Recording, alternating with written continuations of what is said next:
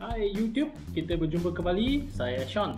Okey, uh, selepas video sebelum ini yang berkenaan dengan hand sanitizer tu dikeluarkan iaitu bagaimana saya membuat ujian terhadap hand sanitizer tu artinya menguji sama ada dia adalah uh, legit ataupun tiruan uh, adalah Sean ada mendapat uh, sedikit feedback daripada fans yang menyuruh Sean untuk membuat face mask sekali face mask uh, So face mask sekali. Macam mana kita nak bezakan Face mask yang merupakan uh, Item yang sangat penting pada kehidupan kita sekarang ni?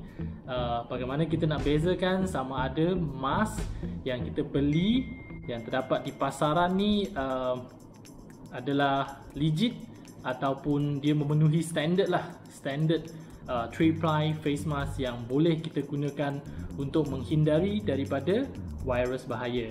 Okey, jangan ke mana-mana dan Sean akan uh, berkongsikanlah dalam empat cara bagaimana kita boleh membezakan uh, face mask ini sama ada dia uh, berguna ataupun memenuhi syarat standard ataupun tidak. Jom kita saksikan selepas ini. Okey, kalian mari kita mulakan dengan test yang pertama. Apa yang anda perlukan? face mask dan gunting kita guntingkan face mask yang ni ok dan kita perlu lihat test yang pertama adalah dia mempunyai berapa kepingan di dalam dia ataupun dinamakan 3 ply ini yang paling standard perlu ada iaitu 3 lapis. Lapisan pertama lapisan yang tengah sebagai filter dan juga lapisan yang terakhir untuk serap air. Ini untuk menghalang air daripada luar. Ini untuk filterkan uh, virus-virus ataupun bakteria daripada masuk kepada badan kita. Dan yang terakhir yang ni adalah lapisan yang menyerap air daripada mulut ataupun hidung kita pastikan ada tiga lapis satu, dua, tiga. Tiga lapis.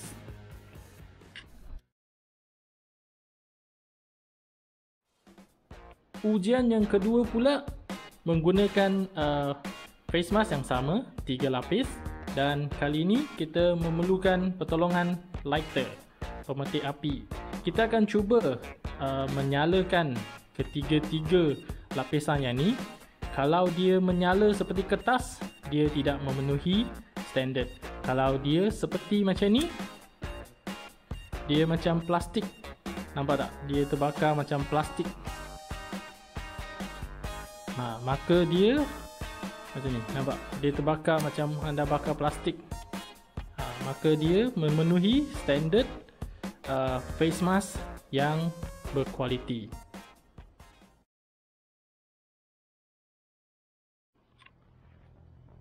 Okey, selepas uh, dua test tadi dan sekarang kita akan mulakan test yang seterusnya iaitu test yang ketiga. Apa yang anda perlukan? Sekeping uh, tisu kering, sekeping tisu kering. Uh, lepas itu memang face mask anda, face mask dan juga sedikit air, sedikit air ya. Okey, mulakan dengan kertas, kertas tisu yang kering, emas, pastikan adalah bahagian depan dan sedikit air. Tuangkan air dalam ni. Apa yang anda perhatikan, dia memang ada air dalam ni dan dia takkan tumpah.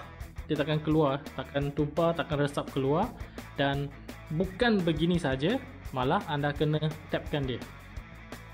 Tengok gunakan jari gentle tapkan dia tapkan dia kalau air tak meresap ke bawah maka ini adalah face mask yang menepati uh, standard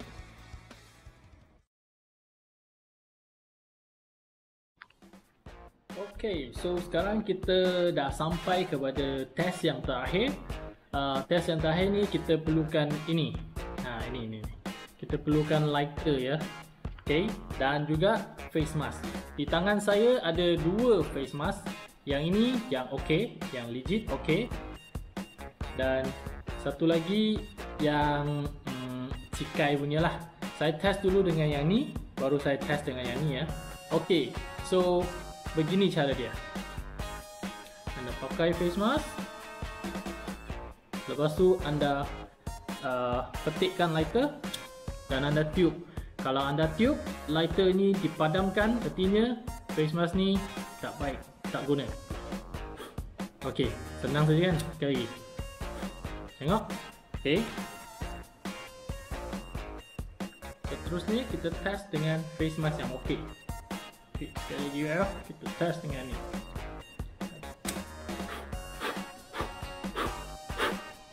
Ha, dia bergerak tapi dia tak padam Okey, itulah perbezaan antara face mask yang uh, cukup syarat ataupun 3-ply face mask yang cukup syarat dengan yang cikai. Okey guys, so selepas anda menyaksikan ujian tadi, uh, Sean berharap anda mendapatlah sedikit uh, info ataupun ilmu bagaimana anda boleh membezakan satu face mask yang menepati syarat ataupun tidak. Dan kalau korang dah ada beli face mask di rumah sekarang uh, try lah uh, buat ujian empat ujian yang Sean tunjukkan tadi. Uh, diharapkan anda mendapat face mask yang betul-betul uh, memenuhi syarat seperti yang Sean tunjukkan tadi empat cara itu supaya anda dapatlah menghindari daripada virus yang bahaya sekarang ni. Okey, uh, saya rasa video sampai di sini saja. Jangan lupa untuk like, komen dan subscribe. Kita jumpa lagi pada video akan datang. Bye bye.